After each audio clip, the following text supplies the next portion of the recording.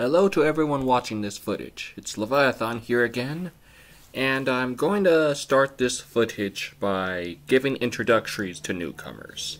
I am high functioning autistic, I'm obsessed with fiction, and I'm trying to make my own creative universe, like, in order to be as blessed as the late Stan Lee was.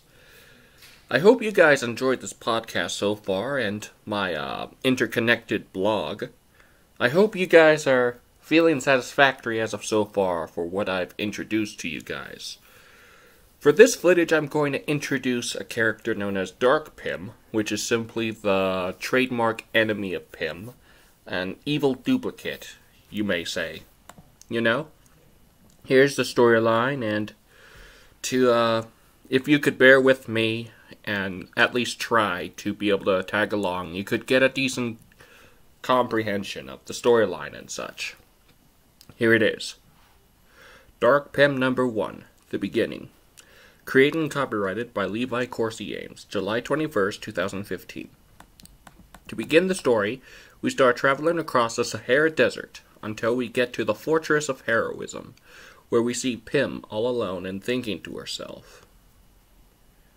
Hmm. Must be having a hard time chatting with people due to my cosmic IQ and personal word usage.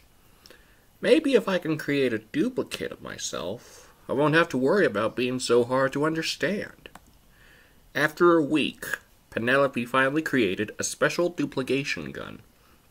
To test it out, she made a fully functional clone of herself. Hello there, duplicate. I've created you so that way I won't be able to I won't be alone with arguments and such. Beep, beep, beep, beep, beep, beep, beep, beep. When the monitor, as Pim learned, that there's another game fight to handle with.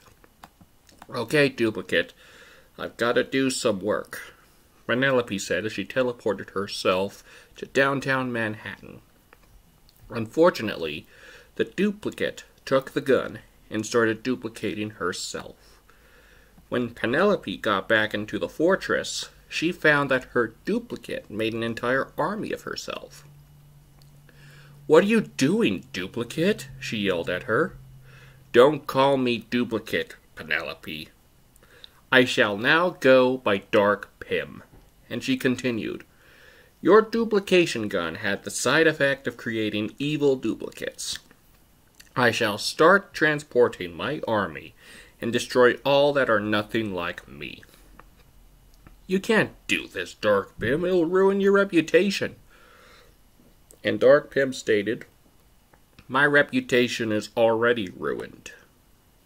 Pim then started fighting her evil clone, but she realized that the more she battles her, the more she hurts herself, due to them being the same person.